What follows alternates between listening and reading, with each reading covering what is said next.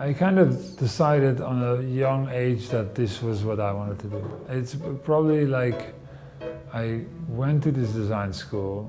After nine months, they kicked me out, and then I knew I really wanted it. This is Amsterdam. This is my studio. I'm Marcel Wanders. I'm a designer.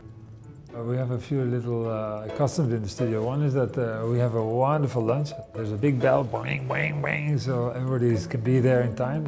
So for an hour, we just, you know, relax and just enjoy a good lunch together. We have about 50 people, and, and we have organized them in two teams. One is the team of organization, and the other is the team of chaos. The design process, by definition, is chaotic, and it, by definition, needs to be organized to get results. You have to be open because every process will be unique. Every design we create has its own kind of needs. The reason that we that people buy our sofas is not because they need to sit. They love design because it shows them who they want to be tomorrow. The tulip chair, it, comes from the respect we have for the egg chair of, of Jacobsen, which is a wonderful piece. That chair has such an iconic and architectonic quality and positioning that it's, it's really interesting to see if we could make a contemporary version of that chair.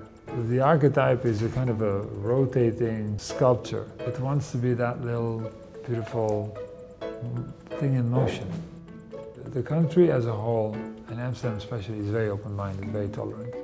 That is the fundament for creativity. Open-mindedness, willingness to listen to others, to change your mind, to connect, to communicate. It's where creativity starts.